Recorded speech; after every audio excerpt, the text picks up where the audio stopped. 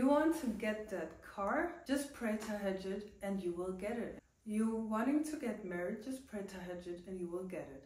You want that dream house? Just pray tahajjud and you will get it. No, no, no, stop right there. Tahajjud is not manifestation.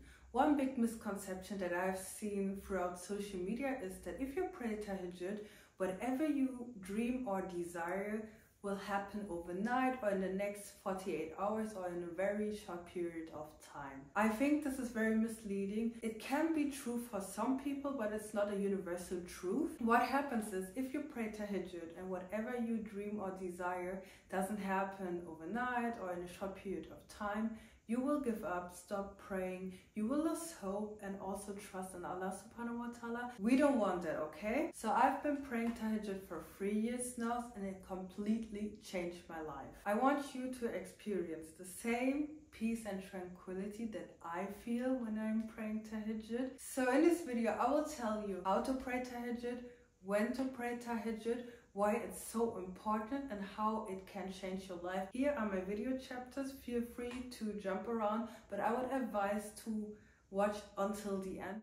We're talking about the time between Salat al-Isha and Salat al-Fajr. This is the nighttime between the nighttime prayer and the morning prayer. Now, if you pray before you sleep, we usually call this Qiyam al-Layl. And if you sleep and then wake up, we usually call this Tahajjud. How do you pray it? If you're going to pray Qiyam al-Layl, you can stand up and make intention for two extra rak'ah, and you just pray two rak'ahs and then you can sleep. Or you can sleep after Isha, or do, do the dishes or whatever you do, and then you go to bed, wake up before Fajr. Now, simplest, you can wake up even 15 minutes before Fajr and just make wudu and pray two rak'ahs of tahajjud, and then you wait for the Fajr prayer and you pray.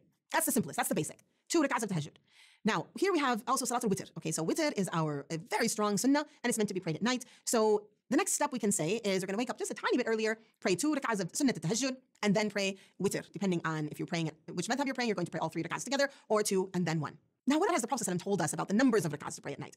We have interest, many different uh, narrations that talk about the number of rak'ahs. Abdullah ibn Umar anhu tells us that the Prophet would pray 11 rak'ahs, that's 8 plus 3, the 8 rak'ahs of tahajjud plus 3 of witr, 8 being 2, 2, 2, 2. Now, I really want to emphasize thinking about habit growing. 2, then I'm going to do 4, then I'm going to do 6, then I'm going to do 8. Now, maybe I'm doing 8, maybe now I want to expand each of these rak'ahs and make each one longer. Maybe I'll just do four, but I'll make them longer. Or maybe I'll do something else. Here are a few ideas of things to do at night. Our community, one of the things that our community is struggling with is missed prayers really beautiful way to use the night is to make up your fard prayers. So at night, even WhatsApp stops working. Here is a time to have a balanced prayer, to recite, to settle in your ruku', settle in your sujood. And one other really important part of tahajjud is dua. Prayer at night is a time to really develop that relationship with Allah subhanahu wa ta'ala. So having new things to do is a good idea, but also take, take note of the environment. Set up your prayer place the other day for yourself. Is something about knowing where you're going to go. Light a candle, spray some perfume in the area or incense, whatever it is that you like to bring beautiful smells. Make some cookies in, in the middle of the night. Make, uh, bring some cinnamon rolls and open it up so that smell is filling the air and make it a place of cleanliness. Make sure your prayer clothes are clean. Make sure the prayer carpet is something easy to sit on. If you are not able to do sujood, you have knee issues or a broken leg or something, then have a chair that's comfortable. Pay attention to these things. Get the place ready so that when you wake up, your appointment, your meeting with your Lord is prepared. You're just beautifying yourself with wudu and you're going to that prayer carpet. You begin with rak'atain, two light rak'ahs. And you have you do these two rak'ahs and you, they're very lightweight. That means they're not very long. That's how the Prophet would do it. And then the next ones are longer. You, you've warmed up, just like exercise, exercise of the heart, exercise of the spirit. You've warmed up, and then you extend that, and then you sit and make dua. And if you're a person who can't think about what to make dua for, make notes during the day and set that next to you so that you can look at it and remember to make dua for me. Remember to make dua for our ummah. Remember to make dua for your children, your family, for all of the people that you know and don't know. Allah subhanahu wa ta'ala will guide, support, help, cure, send His mercy down, forgive all of those that we love, those that are close to us, and those who are far, and make tahajjud and pray for ourselves that we make tahajjud a habit for us, that that prayer becomes the thing we long for and hope for and enjoy deeply. When you stand at night and pray, imagine, imagine these two things. Imagine first that you are standing as in, in the footsteps of Rasulullah that you are standing and calling out for help for your own Badr and for our community Badr. And imagine as well that you too have the angels descending to listen to you as you recite and call out.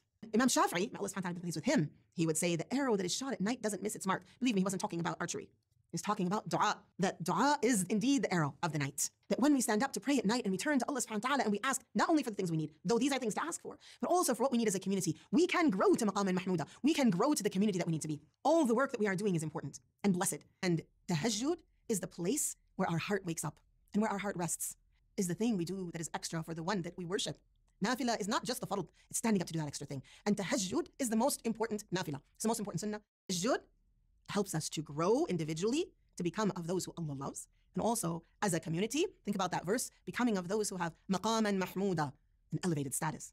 The importance of tahajjud is in walking the path of becoming of the beloved, of becoming of those who have a heart that it's easier to love with this heart. Stand up at night and follow in the path, listening to the Prophet ﷺ when he was asked, What are the best of deeds? Ifshu salam, give greetings of peace, feed people. Um, stand up at night while people are sleeping. People get up and pray tahajjud in this day and age. And of course, subhanAllah, most of the lights were out. And I would think about one of the tabi'een and what he would say that the angels look down upon the earth and they see the homes of those who pray tahajjud as shining stars. Just as we look up at the sky and we see those shining stars and they are lights for us, and think about those who are in, like, go out to the countryside and look at the stars, not from the city. As I said, Tahajjud has changed my life. Not all the things that I made dua for came true yet. Actually, the dua that started me off on this Tahajjud journey hasn't come true yet. However, others did. One most prominent got true after three months. It was flabbergasting my mind. Other than that, what I have lost is impatience, depression, anxiety, perfectionism, procrastination, negative thinking, and impulsivity. I've gained a trust in Allah subhanahu wa ta'ala and peace in my heart, like tranquility and contentment with where and who I am. I feel so connected to Him, and I'm glad that He has given me the opportunity to be able to pray and ask Him in the first place. Not all of your duas will come true in this life, but you will lose and gain so much from it that you can't even gain anywhere else, not even therapy. And I have been to a good therapist. Not saying don't go, yet this alone won't solve and change you. So I'm telling you firsthand, pray tahajjud. So here's what happens with your duas actually and when things are made open and clear. Wouldn't you want to know why certain things were withheld from you? What happens when Allah reminds you as you're standing before Him, remember that thing you kept asking me for? Remember that spouse you wanted? Remember that career or position you were after? Calling upon Allah subhanahu wa ta'ala with certainty in His ability to do things for you. You're calling upon Him with certainty in His knowledge to do what's best for you. You're also acknowledging your limitation of understanding what's actually best for you. Remember, dua is composed of two things. Thana, which is the praise of Allah, and talab, which is the request from Allah. The scholars say that the thana part, which is the praise that you put forth throughout your dua, it's always stored for the hereafter. As for the talab, which is the request, that part is distributed between both this dunya and the akhirah, this life and the next, so sometimes it's going to be delayed. So the rewards of all the remembrance of Allah that was part of your dua is showing up in your record, and if that was all, that would be sufficient. Then the Prophet ﷺ goes on to say, relating to the talab itself, to the ask itself, he says there is no Muslim who calls upon Allah so long as it's not a sinful ask or the cutting off of family ties, but that Allah will give him one of three things.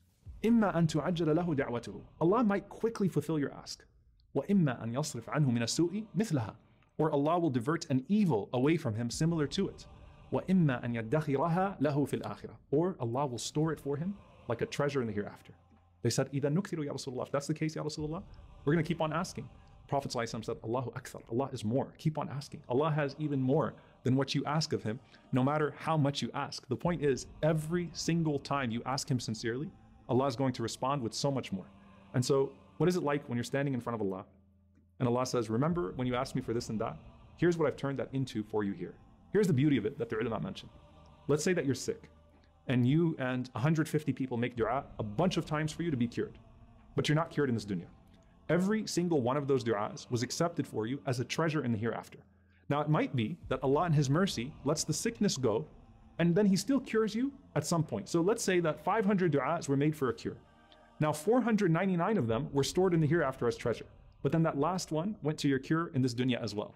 The point is, as you're standing there on the day of judgment and you're seeing these stored treasures of du'as showing up in your books of deeds, let me tell you what you're not doing you are not wishing that those du'as were answered in this dunya. You're saying, Alhamdulillah, Allah left them for here, where they mean so much more. Not like, Ya Allah, can you let me go back and get that job or that spouse or whatever it is that you were asking for? You are wishing at this point that all of your du'as were answered for the hereafter. And so you trust your Lord with your du'as. It's very similar to the way that you trust your Lord with your charity. You loan Him your donations in this world, and Allah gives it back to you as what? As a mountain of gold in the hereafter. So, how many du'as have you deposited in this dunya? And what type of treasures will you see from Allah, who never failed to hear you, He never failed to answer you, and He never fails to reward you in ways that you could never imagine.